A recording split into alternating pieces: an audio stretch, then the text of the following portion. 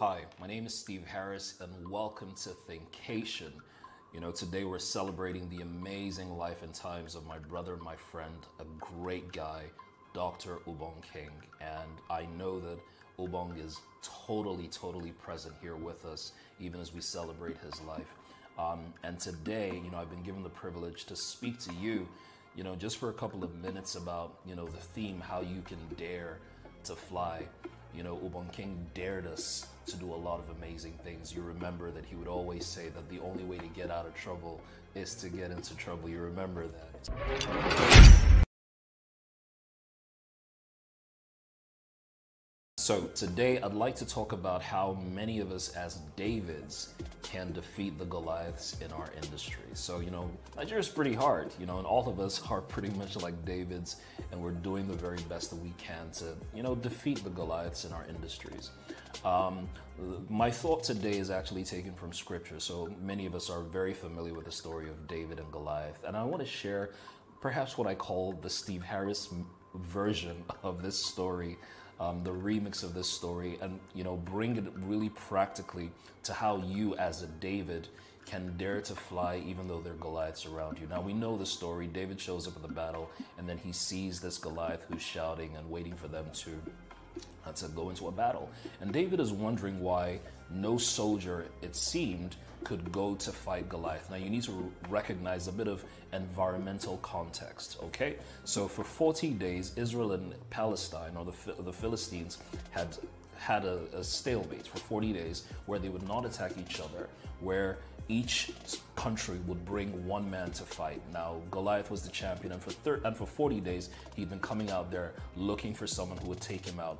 Um, Israel had no one at the time who was really willing to risk the sovereignty of the nation in man to man combat. But it's quite interesting that David shows up. And you know, normally when we read that story, we think that, you know, David got into the battle and then saw Goliath, picked up his catapult, shot Goliath in the head, killed him, and won the story. But this is the remix, okay? Now let's consider a few environmental factors. Number one, Israel is incredibly hot. Number two, Israel is a mountainous region. It's got mountains, it's got valleys, it's got hills. It's got a lot of rock formation. So David shows up and recognizes, I can't beat Goliath toe to toe. You know, the Bible takes time to describe Goliath. It says he was nine feet tall, he was holding a six foot spear, he had an armor bearer who was holding a shield. Goliath was dressed to the nines, he had armor, he was he was gagged up, as the case may be. Um, and this guy was used to fighting um, you know, man to man, right? Now, here's the interesting thing. I don't believe that David just went there and shot him in the cat with a catapult. David recognizes that his strategy, because you know the Bible says that Saul says to David that you can't beat this guy. This guy's been killing people since he was a kid. You're just a kid. So David doesn't have the experience. So experience sometimes is a disadvantage. David doesn't have the experience. But what does David have going for him? Number one, David has got speed going for him. I'll, I'll explain this. Number two, David has got stamina going for him. Now, why do I say he's got stamina? What is David's profession? He's a shepherd. And remember, his job every day was to take sheep like herdsmen, take the sheep from one place to the other every day. David was a herdsman. We don't want to hear that, but David was a herdsman, right? He was taking sheep from one point to the other. Then every other day he would climb a mountain, climb a valley, and you know, imagine climbing, imagine climbing a building, right, that has 15 stories, right? And you're not taking the elevator. Every day you're just walking those stairs. Initially, you're gonna feel like you're gonna die, but ultimately, what does it do? It increases your lung capacity and then it builds stamina. So David has stamina by having taking sheep every day, climbing mountains every single day. So he's built stamina. Now, if you're going to fight with Goliath, now re- remember this Goliath is nine feet tall, but then he's got a six foot spear. So now they say your wingspan, right? So his wingspan is nine feet, but then he's got a six foot spear. So let's say he's got a 4.5 foot wingspan, and then he's got a six foot spear. What, how many feet is that? That's 10 feet. So David recognizes that it makes no sense to get between 10 feet of Goliath. Because if he gets within 10 feet, Goliath can hit him, right? Now, what does David do? Number two, this is my second point. David changes the battle formation to suit him. Now, sometimes what we're trying to do is we're trying to, you know, adjust to the environment. No, what you should do is to make the environment work for you. Sometimes we try to fight our enemies the way our enemies are used to fighting. We need to change how our enemies fight us. All right, so what do I mean by that? David recognizes that his strategy is to wear down Goliath. Now, don't forget, David is wearing armor, he's got all this armor. And don't forget, Israel is a very hot place. So David recognizing Goliath is wearing armor, it's hot. If I can get him to sweat, if I can get him to get tired, this is not a fight that is going to be over in 15 minutes. This is a fight that might take a long time, which is why you must have stamina, which is why you must have capacity. If you're living in Nigeria watching this or in Africa, you definitely have stamina. You know what I'm saying? Everything in Nigeria, everything in Africa sometimes seems to be working against you, right? Um, it builds your stamina. But number two, you must have capacity. Now, why is that important? So now imagine Goliath is trying to expect David to fight him like a like a real man. But this is what I believe David does. And remember, this is the Steve Harris version. I believe that David gave Goliath as much distance as possible and started stoning him. Started stoning Goliath. Goliath is like, Am I a dog? Why are you throwing stones at me? Fight me like a man. And he would chase David. David would run. He would throw a spear. David will duck. Goliath will have to go and retrieve the spear. David would throw another stone, and it was like a stoning competition for I don't know how long. Personally, I believe it took a long time.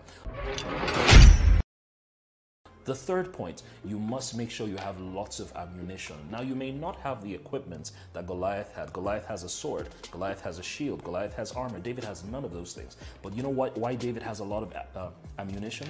Remember what I said Israel is a hot place. It's a mountain, right? It's a mountainous region.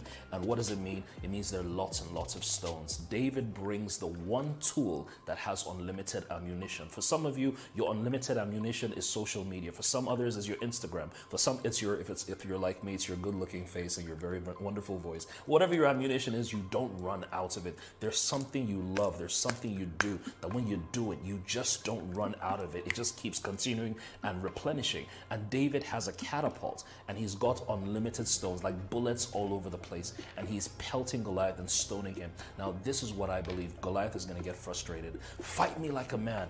This is a fight that Goliath would have ended in two minutes. Come, kill him, the end, we've won. But David is not fighting according to the rules of engagement. He is creating his own rules. Why?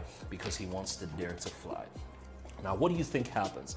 After this continues happening for a while, Goliath gets tired. Now, remember, David has done what you call a SWOT analysis strengths, weaknesses, opportunities, and threats. He has looked at his competition, which is Goliath, recognizing that this guy is covered from head to toe. He has no visible weak spot. But I want to tell you this every giant is vulnerable. Every giant is vulnerable. Every giant is vulnerable. The giants of corruption in Nigeria or in Africa, it is vulnerable. FIRS are vulnerable. I don't even know what I'm saying. Every giant that is stopping your progress is vulnerable. Your responsibility is to figure out what is your SWOT analysis. Now, why do I say this? The Bible describes Goliath, he's wearing armor, he's got this, he's got that. But David recognizes that if I can run this battle long enough, because the Bible describes David as a military strategist, scripture says that he never lost a battle. Now, check this out. David recognizes that if I can run this battle for a long time, I have stamina. Goliath is hot. If I can get Goliath to take off his helmet, then I will hit him where it hurts. Now remember, the purpose of all this activity was to get Goliath into the place where he could take off his helmet. But I want to quickly tell you something very important. I believe, and remember, this is the Steve Harris version, so stay with me. I believe that there were some shots that David was taking that he would deliberately miss.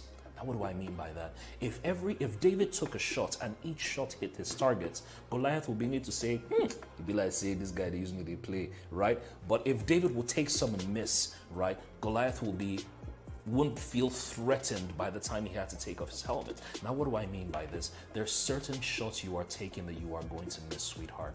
You will try that business idea, it's gonna it's gonna suck. You're gonna try this ad, it's gonna suck. You're gonna try this idea, it's gonna suck. You will seem to keep you will seem to be missing, but don't stop fighting. Can I say this again? You might seem to be missing. Your shots may not be hitting, but don't stop throwing. Don't stop hitting. Don't stop being in the battle. Don't go home and quit. You are too close to fail. I know this is Nigeria, this is Africa. Things are testing you, but don't stop hitting. So I believe that as David is taking shots, he's missing some, some deliberately, some not deliberately. Goliath is getting tired, and here's the wonderful thing remember, he's hot. The Palestinian sun is hot. This David doesn't look like he's going to fight this fight the way it's, it's you know, we're actually con- con- configured. And what happens?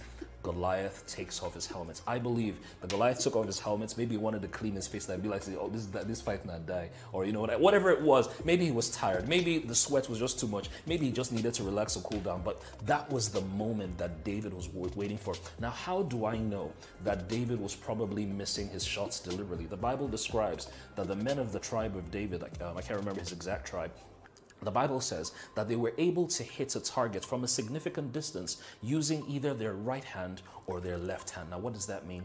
It means that they were ambidextrous. Now, what does that mean to you listening to me right now? You must have the ability to use both hands. One hand to hustle, one hand to learn. You've got to be able to use both hands. This is not the time where you're one-handed. This is the time that you've got to be ambidextrous. You've got to learn as you're as you're as you're doing uh, as you're watching people doing the Buss It challenge or silhouette challenge, and they're all sorts of crazy challenges.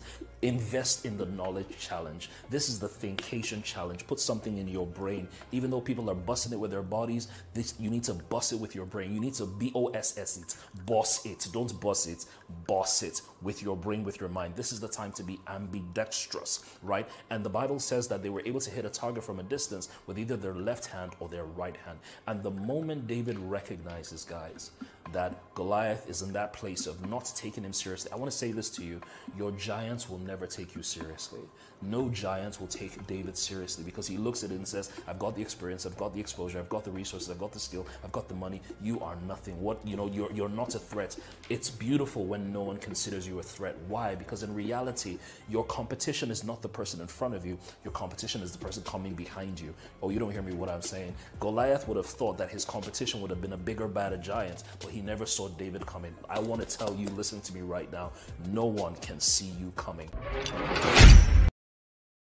The fact that you're in the background means God is hiding you because no one can see you coming. Do me a favor. I know I'm not there with you right now, but do me a favor. Just tell the person beside you or drop it in the comments and say, No one can see me coming. You can't see me coming. John Cena, you can't see me. You know what I'm saying? And that's exactly what happened because we tend to think that our biggest competitors are the guys in front of you. No, my biggest com- competitor is not Jimmy Tewe. My biggest competitor is not the wonderful, awesome Ubong King. My biggest competitor is the person who's watching this broadcast right now looking at Steve Harris and saying, This guy, I think I'm better than this guy. You, my friend, are my competition. But don't worry, like Dave, like Goliath, you're not taking my head off because me, I'm David, I'm Goliath, I'm all of them. You know what I'm saying, right? But the beautiful thing is Goliath takes his helmet off, and in that moment, David strikes. Now, what do I mean? David didn't vacillate. He didn't think too much. He didn't analyze paral or he didn't get he didn't get caught up in analysis paralysis. He didn't try to get all his ducks in a row. He didn't try to say, "Oh, let me let me let it be perfect. Let me you know let, let me procrastinate a little bit." Listen, when the time of your opportunity comes, you must act. It's all about ruthless execution, taking your shots and doing it now, and do not miss. Let me say this again: do not miss. Do me a favor, drop it in the comments. Do not miss. Which you've got one shot. You know, if you've ever listened to that Eminem's "Lose Yourself," there's a, there's there, you know the lyrics are powerful. I, I encourage you listen to the lyrics of Eminem's "Lose Yourself." You can't afford to miss it. If if, if you've only got one shot, will you get it? Do not miss. And you know the interesting thing we hear the story. David knocks out Goliath. He has no sword, picks Goliath's sword, kills him. But that's not the best part. This is the final part. That's the best part. David kills Goliath, and the Bible says he takes the head of Goliath and he puts it in his tent. Now, why is that important? The Bible says that when he kills Goliath, the army of Israel runs to the field, to the battlefront, and they begin to chase the armies of the Philistines to kill them. The Philistines run away, the armies of Israel run towards them, and they're chasing. Now, imagine if someone saw the head of Goliath and picked it up from the floor. You know what would happen? That person because he had proof, that person will get the reward of the fact that he killed Goliath. What do I mean by this? You can only get ahead if you have the head. I don't know if you know what I'm saying. I know this sounds like a spire, but super spire, but I know you're going to work with me. Only those who have the head will get ahead. Where is the evidence? Don't forget, if you remember in the Bible, previous verses before, previous verses before, Saul asked him, he said, What have you done before? David, said, I've killed a lion. Saul said, Where's the head? He said, I don't have. So I've killed a bear. Where's the head? I don't have. David was not ready to make that mistake again. And when he killed Goliath, the first thing he did was he took his head to the tent so that it would not be said that some other guy killed Goliath because he whoever has the head will get ahead. My point is now is the time to document all the things you're doing, all the little things. I saw something funny that you know you can even put the fact that you are an administrator of a WhatsApp group on your on, on, on your CV now because you can just simply say, "Oh, I run a, I run a program where 200 and something people there, and I facilitate is English is packaging." If you don't have proof, you will not get ahead. So listen, guys, those are the things. Adjust the environment, change your battle formation find the right ammunition, execute quickly, and more importantly, get ahead. If you do this, I guarantee that you will eventually fly. And like my brother, the, the phenomenal Ubong King says, the only way to get out of trouble is to get into trouble. So I wish you guys plenty of trouble even as you get ahead. God bless you.